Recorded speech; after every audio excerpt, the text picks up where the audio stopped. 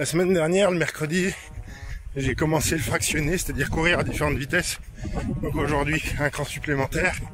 Je vais faire ce qu'on appelle du circuit training, que je prononce bien la française parce que je trouve ça très con. Un entraînement à circuit. C'est quoi un entraînement à circuit? C'est quoi un circuit? C'est de partir euh, sur une série d'exercices. J'ai regardé sur internet pour différents euh, sports. À chaque fois, il y a sept exercices. Je sais pas pourquoi. Est-ce qu'il y a une raison valable?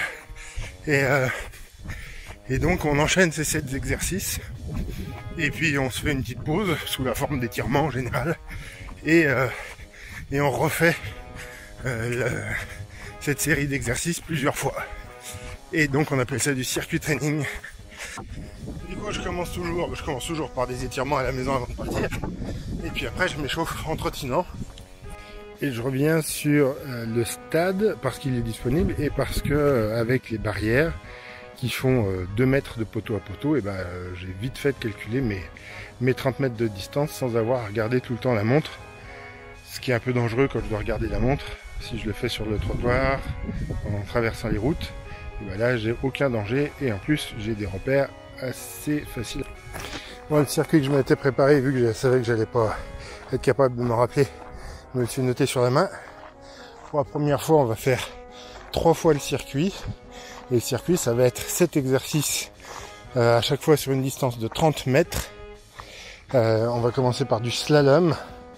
Donc oui, du coup vous devinez que c'est quelque chose, euh, c'est un circuit training qui est plus inspiré par les sports co type foot, rugby que par la course à pied directement. Ensuite, on trottine pour reprendre son souffle sur 30 mètres. Cloche-pied 30 mètres sur un pied, 30 mètres sur l'autre pied. Et ça vous allez voir que c'est très crevant. Donc, on va faire, euh, on va trottiner sur les 30 mètres qui suivent. Une petite course, la course, on se souvient de la vitesse à laquelle on court, 30 mètres. Et à nouveau, on trottine sur les 30 mètres suivants. Ça, ça va permettre de reprendre son souffle après les cloche-pieds. Et du coup, on finit par quelques étirements très rapides, succinctement. C'est euh, des étirements que je fais d'habitude en fin de séance. Ça permet de faire une pause et puis de remettre un peu de, souplesse avant de repartir sur euh, la deuxième répétition du circuit. Et donc l'objectif pour la première fois, c'est de le faire trois fois ce circuit. Je sais c'est pas beaucoup, mais vous allez voir que c'est crevant. On prête euh, au fractionné l'intérêt euh, de faire travailler à différentes vitesses, donc à différentes intensités, et donc de faire mieux travailler que si on reste tout le temps à la même vitesse euh, où le muscle, le corps s'habitue. Et euh, là, l'idée du circuit training que je fais, c'est d'avoir un peu plus euh, d'efforts, de différence d'efforts, d'exercices, donc de faire travailler un peu plus les muscles et le cardio. Et on prête à, ce genre de déjà au fractionné correct euh, ce que j'ai fait jusqu'à présent depuis une semaine c'est du, petit fractionné. C'était pas très très rapide. C'était sur des courtes distances.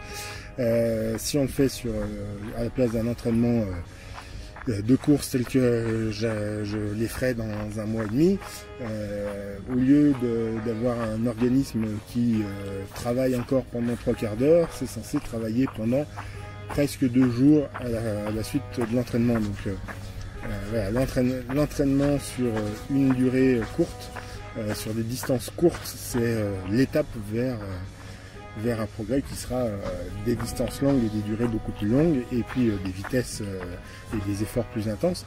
Mais il faut commencer tout doucement, et encore une fois, ça paraît facile sur le papier, ça paraît facile la première fois qu'on le fait, et quand vous l'avez fait cette fois, vous avez mal partout, vous êtes crevé, vous en pouvez plus.